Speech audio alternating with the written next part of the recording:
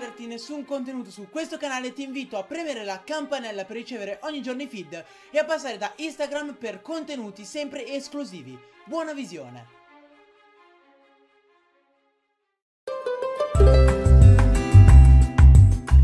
Ragazzi e benvenuti in questo nuovo video tutorial su Pokémon Ultrasole e Pokémon Ultraluna Ragazzi quest'oggi andremo a vedere come ottenere tre importantissimi cristalli Z Ossia lo Snorlaxium Z, il Mew Z e ragazzi il Marshadium Z.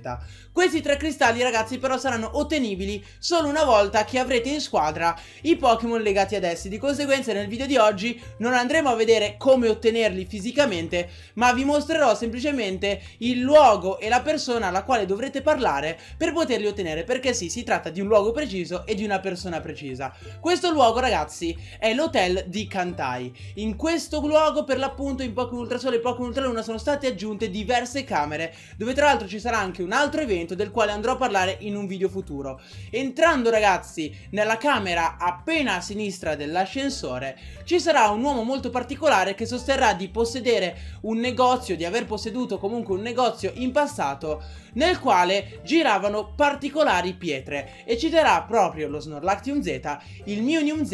e il Marshadium Z, aggiungendo poi di seguito che se si vorranno ottenere questi cristalli Z basterà portare a questo uomo i Pokémon designati. Quindi se voi avete in squadra uno Snorlax, un Marshadow o un Mew, cosa molto difficile per il momento visto che il gioco è uscito da davvero poco, in questo luogo potrete andare ad ottenere i loro peculiarissimi cristalli Z e quindi utilizzare le loro mosse Z.